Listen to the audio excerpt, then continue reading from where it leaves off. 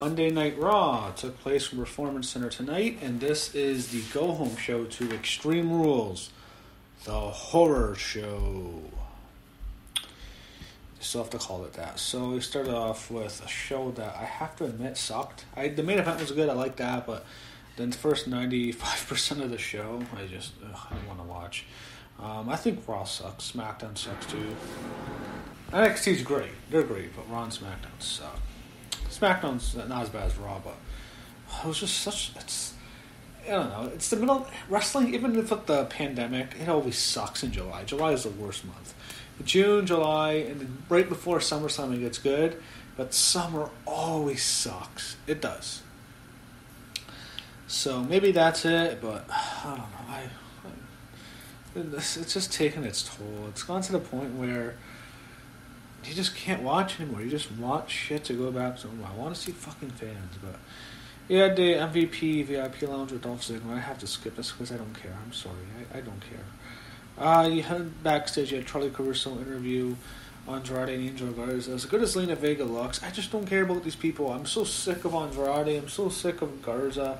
I don't give a shit about either one of them. They're boring as hell. Andrade is boring. Garza is even more boring than Andrade. I don't care the stupid stuff with Charly Caruso and Angel Garza. I just can't get into it. I just don't care. The stuff sucks. It really fucking does. I have an interaction with the Viking Raiders. I don't care. So yeah, on Jordan Angel Garza against the Viking Raiders, and um, this is a tag team elimination match.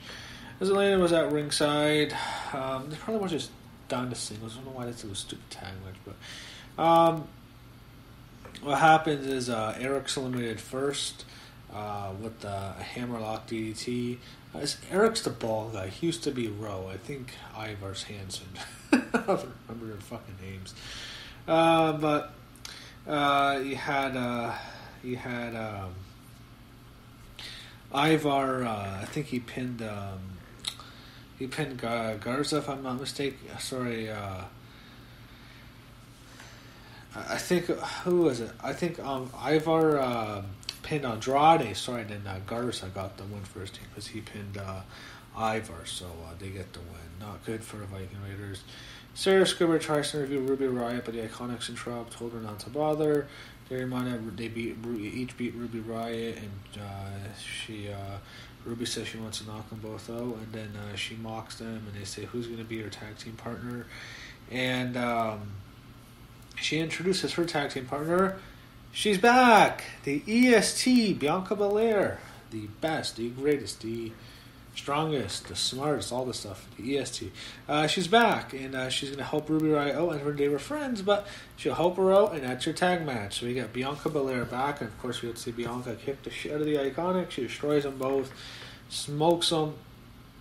Uh, Bianca, she throws them around. Uh, she squats Billie Kay. That was pretty funny. Uh, Peyton Royce uh, got thrown out. And then uh, she destroyed him. She had a KOD on Billie Kay, and she had win. So yeah, I got win for Ruby. I don't know if her and Bianca are a team. I think her and Liv will still be a team, but that's all right. Uh, you had uh, her truth for. Oh, I'm gonna skip over this. I'm sorry. Oh my god, I don't care about this. Um, you had uh, R-Truth and Akira. I have to skip that. I don't care R-Truth and Akira Tozawa. It's uh, we got Shayna Baszler uh, there, and uh, she she beats up Akira Tozawa's ninjas, and uh, she says she's been waiting patiently. She's she's here to give everyone her dose of reality. I think her reality is Vince McMahon's not going to push her. I knew that would happen. I knew, all right, they're gonna. I knew it was going to happen with Shayna eventually on the main roster. It's Vince, and she doesn't have much. She's not marketable. Come on, let's be real. Shayna Baszler marketable. I don't want to be mean. She's not. She's not marketable. It's a business. She's, it's not that good. She's in a ring. She's okay. She's not great. She's not bad. Certainly, she's better than most women, but doesn't like the Roman find her match. I think most are boring. So they had uh, Rollins come up for a stupid promo. I, oh my god, I don't care about anything. Fuck. I can't get myself to care. Uh, you have Aleister Black against Murphy with Seth Rollins there, and KO was in um, Rollins' side. Rollins wins, or sorry, Black wins by DQ. After Rollins interferes, and you have Kevin Owens against Seth Rollins, and this goes on for a while. You had Rey and Dominik there. I, I don't know. I've heard the story about Rick's kind of interesting. I guess, or sorry, on um, Rey. Rey's interesting because he's not with the company anymore on contract. He's technically just on a handshake deal. I'm sure they'll find a way to sign him, but supposedly he went to the company he wanted a raise, and they're just not giving out any raises. And uh, when they signed him back in uh, 2018, I guess it was for a lot less, less money than we might have thought, but he wanted more money, and this is not the time. In the pandemic, they released uh, a lot, a big portion of the roster a couple months ago, so it's not going to work out, I guess. But um, he's on a handshake deal. I think he'll stay because Dominik, but uh, I think eventually Dominik's going to turn on uh, Rey and he'll join Seth Rollins, and that'll be it for Rey. Flair speaks with the Big Show backstage. Uh, he um, he says uh, he praised. He said Show stood over all those big men he's worked with, including Bruiser Brody, Stan Hansen, and Andre the Giant. However, Show was picking a fight he can't win. Flair says he can't do Hollywood and just came and just come back. Look what happened to Edge. Even The Rock hasn't come back. Flair wanted Show to go into the Hall of Fame healthy, not with an injury to hands of Orton. Show said Flair knew what he was trying to do. He knew Orton had done to Edge and Christian tonight. He faced one of their friends in truth. Show wondered if Flair was going to sacrifice his friendship with just so Orton can be the legend killer. Uh, I don't think they need Flair. I like him, but he's, he's not, he's not needed here in this time. Worst time in the world's first. Don't even have him there. It's just too dangerous. And you know it's Ric Flair. He's going to say no to wrestling. Are you kidding me? He'll be dead. He'll still try to find a way to get back on television. God, he's fucking insane, this guy. They should know. It's like giving alcohol to an alcoholic. You're, what are you doing, WWE? You're such assholes.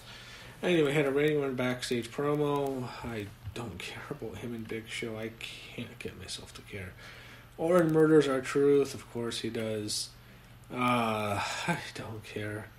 He's ready to punt truth and Big Show's music hits. I God, how am I going to get excited for Randy Orton and Big Show in 2020? How? How is that possible to be fucking excited about Randy fucking Orton the big fucking show in 2020? How am I supposed to be excited about that? Uh, MVPs, backstage shows his U.S. belt to Ricochet and whatever, I don't care. Sarah Schreiber tries to interview McIntyre and uh, him about Ziggler. Uh, Sarah Schreiber is doing everything now. I don't mind seeing Sarah Schreiber, but I think uh, because Renee's sick with COVID, and I think Kayla Braxton. I don't think. I think she uh, she had it twice. Maybe she doesn't want to be on there because she's scared. But uh, so Schreiber's doing everything. Uh, he had Caruso there too, actually.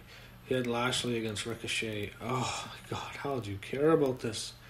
Charly Caruso interviews the Big Show, and uh, he says uh, Orton challenged him to an unsanctioned match, and he says he accepts it. I don't care.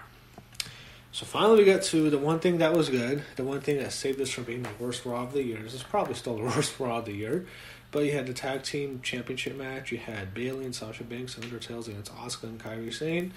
I think uh, maybe they thought, oh, we'll just put filler stuff because it's a good main event. And they had a really good main event, really good tag match. All four of these women are great. Bayley's great, Sasha's great, Asuka's great, Kairi's great. All of them are great workers. They had a damn good matchup here. I really enjoyed it. It was a fun match.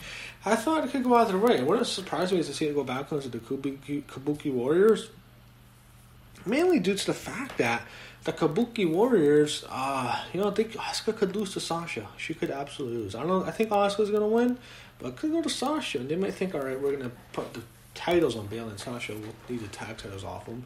They could do that, or they could be, you know, all champs, and they go into SummerSlam, uh, all decked in gold. Um, you know, uh, they want Sasha and uh, Bayley. Um, if Sasha and Bayley were to win, it's obvious Kairi Sane was going to get pinned. If Asuka and Kairi were to win, we knew Asuka would get the pin. So you just knew, right, right, when they tag Kairi at the end, she's losing. I don't know what's going on with her, but it was a very entertaining match. It was back and forth. It was fun. People there sold it well. They booed Bayley and Sasha, They cheered Asuka and Kairi. I thought everyone there was good.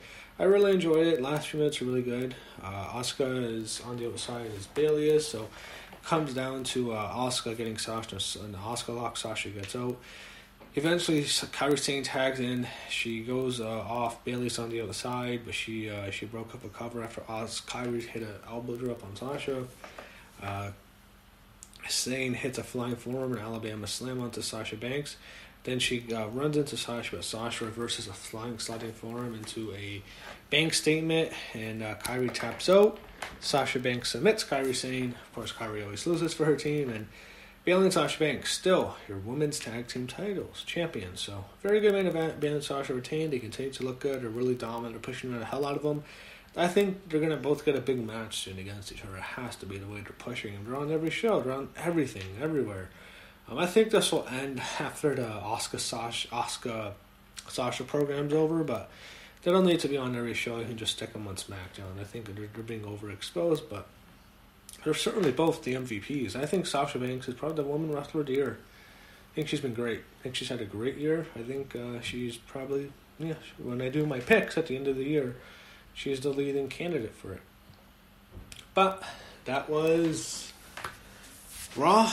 Not the greatest show. July 13th edition is just, top remember one is the worst shows of the year. Not fun, not entertaining, not interesting. And uh, it's the go home show for Extreme Rules, the horror show this Sunday.